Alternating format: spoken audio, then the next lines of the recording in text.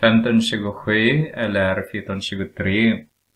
Eh, John betalar 4000, jag skriver 4475 kronor eh, i månadshyra för sin lägenhet.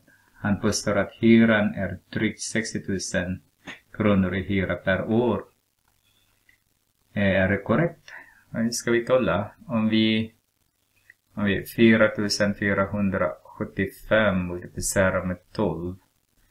Om vi höjer en av dem, ungefär, om vi höjer den här till 4500 och sänker den här till 10, det får jag ungefär 45 000.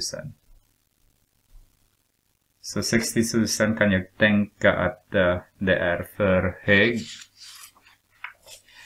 Ja, det, ja, det är alldeles för hög.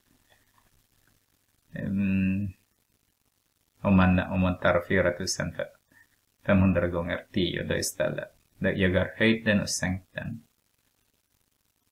Så det är alldeles för hög att säga 60 000.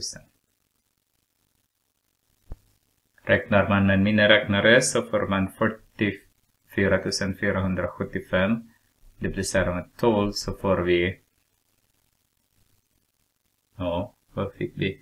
53, äh, 53 700 även där kan vi se att det är ja, lite 50, jag skulle kunna säga till de som frågar cirka 55 000 i alla fall, inte 60 000.